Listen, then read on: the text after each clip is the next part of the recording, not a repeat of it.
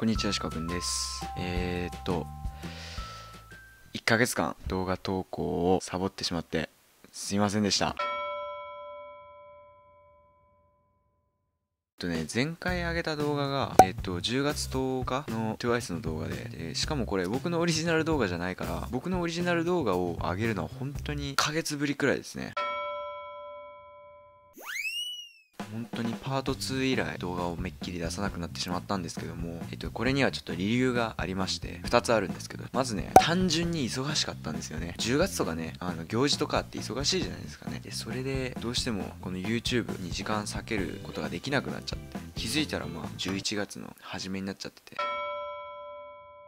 えっと、11月も実は忙しくて、えっと、動画をね安定的に上げられるのが12月の初めからになります。2つ目がですね Twitter の方にも上げたんですけどパソコンのねデータが全部なくなりました。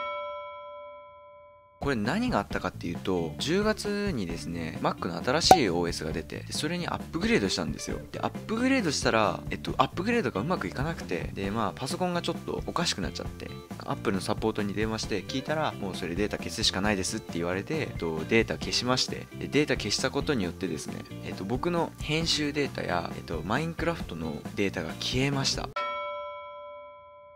でうわーこれは大変だということで、えっと、今までの環境に戻すのにかなり時間がかかってでまあそれでねちょっと、えっと、動画投稿ができなくなってしまいました。でね今僕ねマインクラフトのデータが消えたって言ったんですけども今まで撮ってた、まあ、パート2までしかできてなかったんですけどあのマインクラフトのデータがですねなくなってしまいました。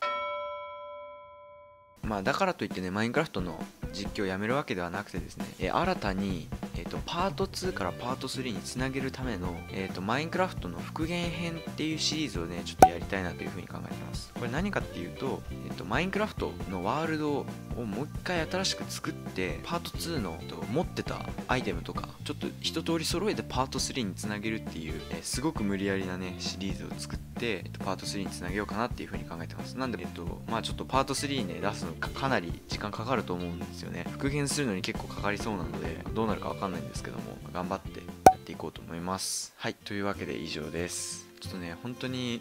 パソコン慎重にねデータの管理とかも気をつけてやっていきたいなというふうに思います。えっ、と以上石川くんでした。バイバイ。